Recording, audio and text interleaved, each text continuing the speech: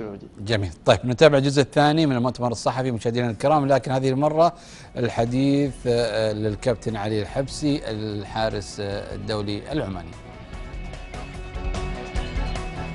الفوز اللي قدمناه أمام نادي العين كان فوز جدا مهم لمشوار النادي خلال هذا الموسم.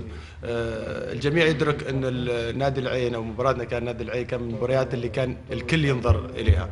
فالحمد لله اللاعبين بعد خصوصا أنا أتكلم عن لاعبين المنتخب اللي راحوا تقريبا أكثر من 10 لاعبين بالمنتخب آه، عاشوا ضغوطات جدا كبيرة أمام منتخب بعد مباراة الإمارات والحمد لله الله وفق وصعد على كأس العالم مع مباراة اليابان. أعتقد بعد هذه ال- الضغوطات الكبيرة إجت مباراة يمكن ما تقل بالنسبة للاعبين في في في, في نادي الهلال هي مباراة العين.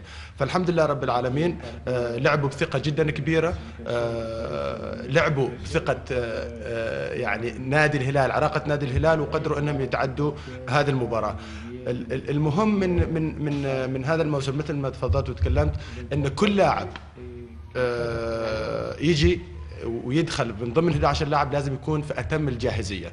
مباراة نادي العين كان فيها آه، نقص كبير من لاعبين نادي ال- آه، الهلال ولكن أثبت ال- اللاعبين اللي دخلوا الملعب آه، جدارتهم آه، احقيتهم ان ان إنها جايين لهذا ال- الكيان انه موسم راح يكون جدا مميز والحمد لله قدموا مستويات جدا كبيره وفزنا في المباراة. مباراة أحد ما أعتقد ان من المفروض إنها تكون أقل أ- أ- أهمية أقل من المباريات اللي راح نلعبها هذا الموسم.